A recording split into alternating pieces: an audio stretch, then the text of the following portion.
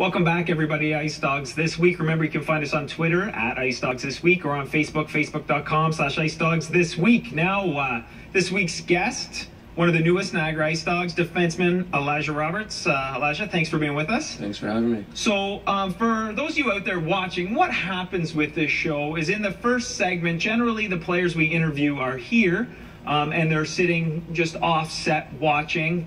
And Elijah, you said you had some issues with the first segment Yeah. with some of the hits and misses. So we're going to go through them so that you Sure, can tell us good. where we're wrong and why. Um, so let's start with the first one. Six goals in four games. We should be concerned about the offense. Hit or a miss. Ah. You got to get hard hit or miss.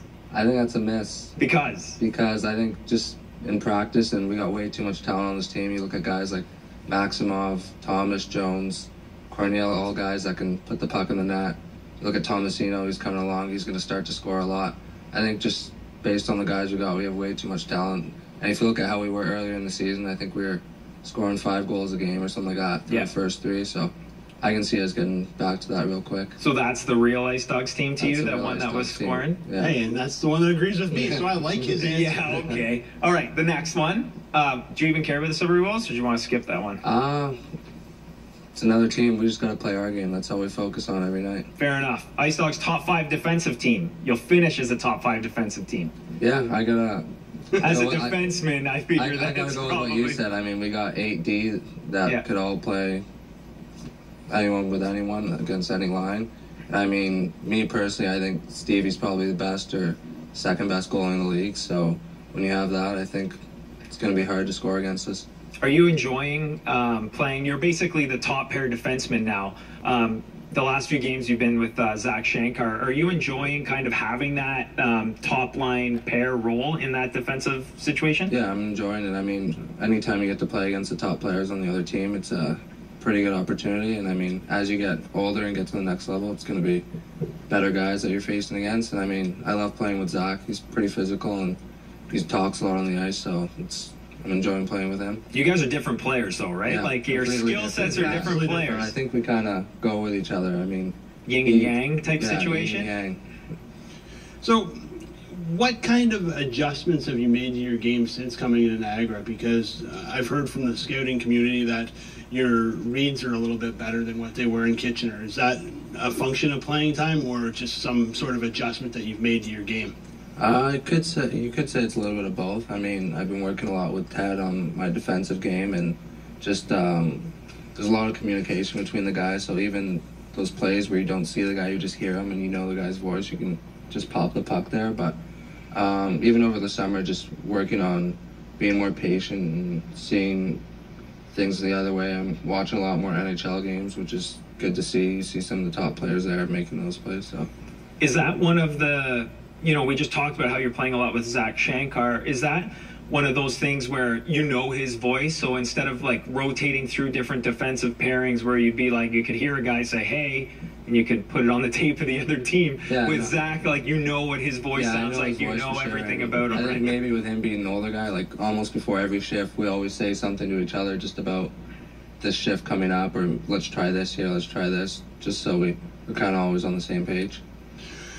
Your skating is always something that we've noticed about you since you came into the league. Yeah, forever ago, Yeah, right? two years Yeah. ago, we noticed where who's this Roberts kid? He can skate. Is that something that just came naturally to you? Because some guys, it just it's a natural thing, or is it something that you really had to work on? Uh, for the most part, it's just natural. I mean, I worked with uh, Barb Underhill for a summer, maybe a little bit longer. She's pretty but- good. yeah, she's she's real good. She's something special. But uh, I've always just skated a lot, so I'd always try new things, even if I fall, just turn, twist, jump, anything, just to kind of get comfortable on my skates. And then uh, Jeremy Bracco was on my team for a couple years, and he always opens up and does an eagle. So just by watching him, I worked on that a lot, just on my own, and tried to incorporate it into my game.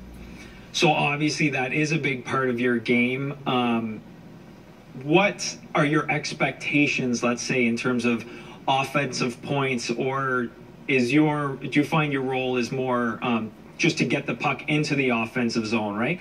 There, hockey's kind of changing in terms of you know five man units almost, uh, and, and getting the puck into the offensive zone is is becoming more of a defensive job than necessarily just that first pass. Yeah. So do you see yourself as like offensive in terms of you know scoring goals or offensive in terms of rushing the puck or, or how do you see yourself? Uh, I think it's a little bit of both. I mean, I, I want to be able to score goals, but also we, we got a lot of skilled forwards. So if I can get the puck to them and then Yeah. maybe give it back.